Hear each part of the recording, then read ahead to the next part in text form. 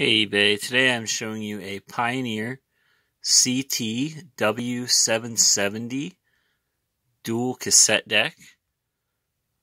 Uh, this is a very full featured deck and I'll show you a lot of those here in just a second. First we'll go ahead and turn it on. You see it has a nice display there with uh, the VU meter when it plays pop a tape in, you can see that.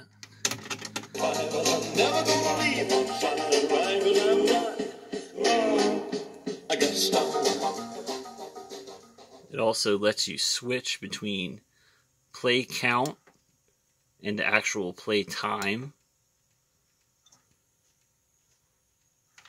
We'll go ahead and stop that. Show you the record deck over here. This is also the deck with auto reverse, so we can play it. And if we hit the other play button, we'll play the other side, which is a nice feature. This also has uh, a couple cool seek features. It has this button here you see, it says rewind autoplay. If we were to press that, it, it would rewind the tape all the way back to the beginning of the side that it's currently playing and play it from there. And it also has the skip buttons, which work just like a CD would, only they take a few seconds longer to find the song. But you can hit next. It will fast forward, find where the next song starts.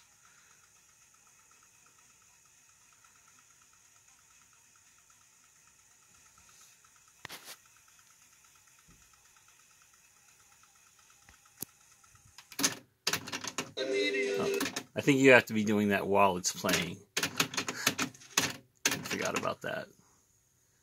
Yeah, you have to hit that while it's playing for it to skip. Otherwise, it's just the fast forward button. But you can pick multiple songs. You see there, I just picked three. What it's going to do is fast forward until it finds three gaps and play the song from there. So, it's a pretty great feature for a tape player. Something I wish I would have had in the 90s.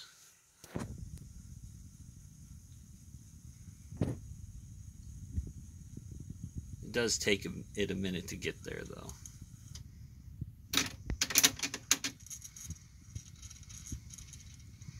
And actually, in that case, I guess it hit the end of the tape, then it switched to the other side, and now it's going two songs back from there.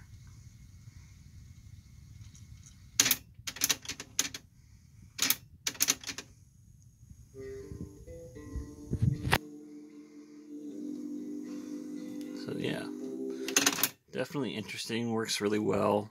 Has normal and high speed dubbing. Has Dolby B and C noise reduction. Um, as far as the physical condition goes, normally on a deck like this, I would say it is in good condition. There aren't that many physical problems with it. However, there is one big one, and that is it is missing the Pioneer sign that sat right there. Uh, it says Pioneer on the back, but there was like a little nameplate there that said Pioneer, and somewhere along the years it's gone missing. Um, it comes with the deck itself, which has a built-in power cable, as well as this uh, small set of about three foot RCA cables. And I think that is about it. Thanks for looking, guys.